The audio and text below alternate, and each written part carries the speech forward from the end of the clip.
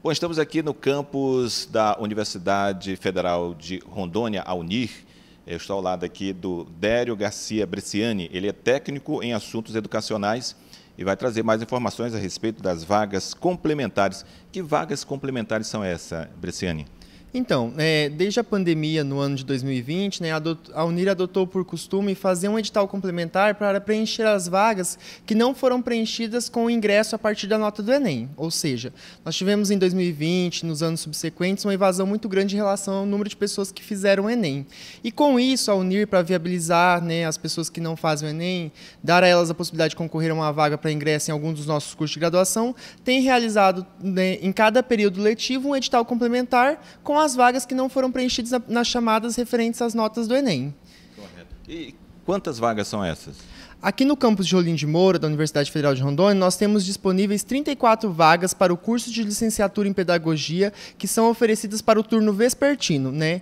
Os candidatos interessados também podem entrar no portal de processos seletivos e fazer a leitura do inteiro teor do edital e verificar, né? além das vagas disponíveis no campus de Rolim de Moura, nós temos vagas disponíveis nos demais campos da Unir. Né?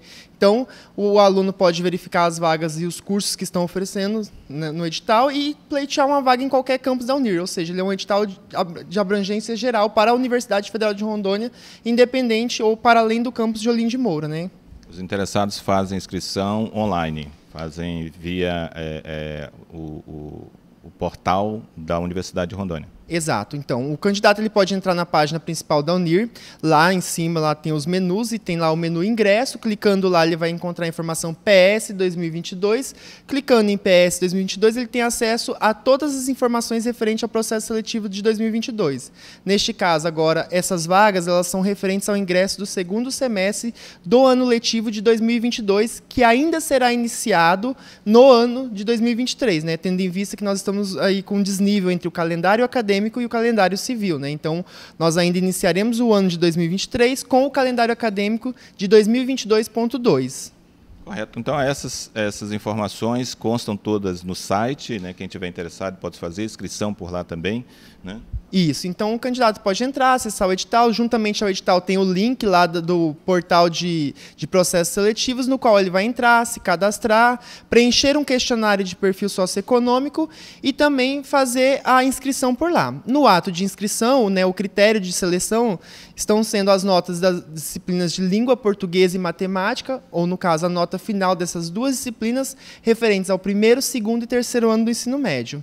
E aí, nesse caso, o candidato preenche. Nós chamamos a atenção nesse caso que o candidato tenha muita atenção ao informar essas notas dos três anos dessas duas disciplinas. Por quê? O próprio edital prevê que, caso o candidato informe alguma nota errada ou digite erradamente, no ato de matrícula, se ele for selecionado, essas notas serão conferidas e, caso não bata com o que ele informou no portal, o candidato é automaticamente eliminado. Então, eu chamo a atenção para que os interessados se atentem ao momento de preenchimento das informações referentes às notas, porque elas serão conferidas caso ele seja aprovado e convocado para a matrícula. E aí não existe recurso para reaver essa situação se houver um erro de digitação de notas e ele seja eliminado. Perfeito, então. Obrigado, Dério. Dério Bresciani, ele é técnico em assuntos educacionais, trazendo informações aqui importantes, direto do campus da Uni, aqui de Rolim de Moura, a respeito das vagas complementares. Com imagens de John Fujoca e do Félix para o jornalismo da SIC TV.